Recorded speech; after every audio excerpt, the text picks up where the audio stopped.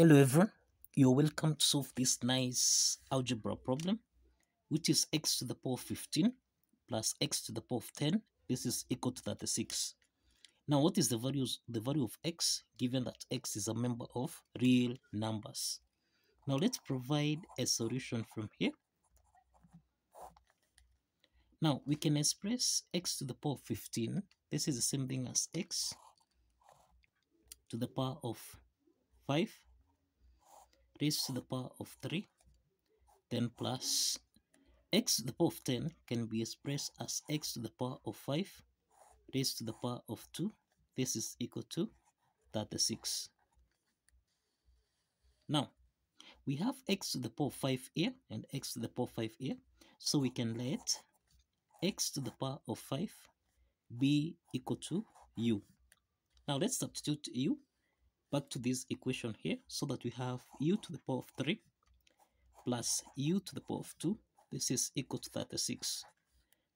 Now let's take 36 on the left hand side so that we have u to the power of 3 plus u to the power of 2 minus 36. This is equal to 0. So this is u to the power of 3 plus u to the power of 2 minus 36 which you can express as minus 27 minus 9 this is equal to 0. So we have u to the power of 3 plus u to the power of 2 minus 27, which is 3 to the power of 3, minus 9, which is 3 to the power of 2. This is equal to 0. So we have u to the power of 3 minus 3 to the power of 3. So this is u to the power of 3 minus 3 to the power of 3. Then plus u to the power of 2 minus 3 to the power of 2. This is equal to 0. Now we have got two parts here. The first part is the difference of two cubes expressed as a to the power of 3 minus b to the power of 3. And the second part here, this is the difference of two perfect squares expressed as a squared minus b squared. Now from the first part here, that is a to the power of 3 minus b to the power of 3, this can be expressed as a minus b, a squared plus a times b, then plus b squared. Now we have u to the power of 3 minus 3 to the power of 3. This can be expressed as u minus 3. Then here we have u squared plus 3u plus 3 squared which is 9. Let's call this equation 1. And we have a squared minus b squared.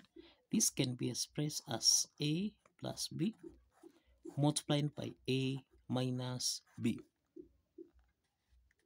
So this implies that u to the power of 2 minus 3 to the power of 2, this can be expressed as u plus 3 multiplied by u minus 3. Let's call this equation 2. Now let's combine equation 1 and 2. We have u minus 3 multiplied by u squared plus 3u plus 9 then plus u plus 3 multiplied by u minus 3 this is equal to 0 so u minus 3 and u minus 3 is common here. So we can factor out u minus 3 into the parentheses we have u squared plus 3u plus 9 then plus u plus 3 this is equal to 0 now we have got two parts here. We have u minus 3. This is equal to 0. And here we have u squared plus 3u plus u. This is 4u. Then plus 9 plus 3. This is 12. Then this is equal to 0. Now we have got two parts here. The first part is u is equal to 3. And the second part here, this is a quadratic equation of the form au squared plus bu plus c, this is equal to 0. From this quadratic equation here, we have that a is equal to 1, b is equal to 4, and that c is equal to 12. Now, we can assess the nature of the root of this quadratic equation by determining the discriminant value, which is b squared minus 4ac. Let's substitute the values of a, b, and c so that we have 4 squared minus 4 times a which is 1 times c which is 12. 4 squared, this is 16 minus 12 times 4, this is 48. Now we have 16 minus 48, this is equal to minus that 2, which is less than 0. And you find that these are two complex roots. These are two complex roots. And this implies there is no real solution. There is no real solution from this quadratic equation part here. And this implies that the quadratic equation here is rejected. The quadratic equation here is rejected given that x here is a member of real numbers. Now, let's proceed with u equal to 3. We have that u is equal to 3. Now, if you recall, we have that x to the power of 5, this is equal to u.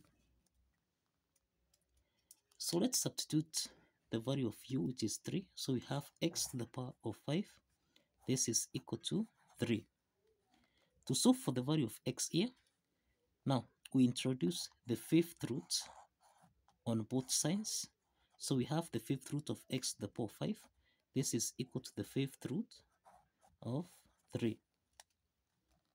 So here we can eliminate this so that we have x is equal to the fifth root of 3 which we can also write as 3 to the power of 1 over 5. Now let's verify that the value of x here satisfies the equation. Now, if you recall, we have that x to the power of 15 plus x to the power of 10 this is supposed to give us a value of 36 now let's substitute the value of x here which is 3 to the power of 1 over 5 so we have 3 to the power of 1 over 5 raised to the power of 15 then plus 3 to the power of 1 over 5 raised to the power of 10. This is supposed to give us a value of 36. Now, we have that 3 to the power of 1 over 5 raised to the power of 15. This is in the form of a to the power of n raised to the power of m, which we can express as a to the power of n multiplied by m. So this implies that here we have 3 to the power of 1 over 5 multiplied by 15, then plus 3 to the power of 1 over 5 multiplied by 10. This is supposed to give us a value of 36. Now let's simplify here. 15 divided by 5, this is 3. And 10 divided by 5, this is 2. So we have 3 to the power of 3 plus 3 to the power of 2. This should give us a value of 36. 3 to the power of 3, this is 27. Plus 3 to the power of 2, this is 9. And this should give us a value of 36. So we have 27 plus 9, this is equal to 36, which is equal to 36. So the left add side, this is equal to the right add side.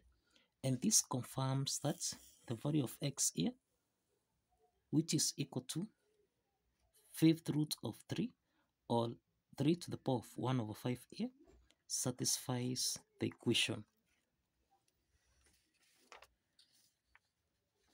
So kindly follow the steps, like this video,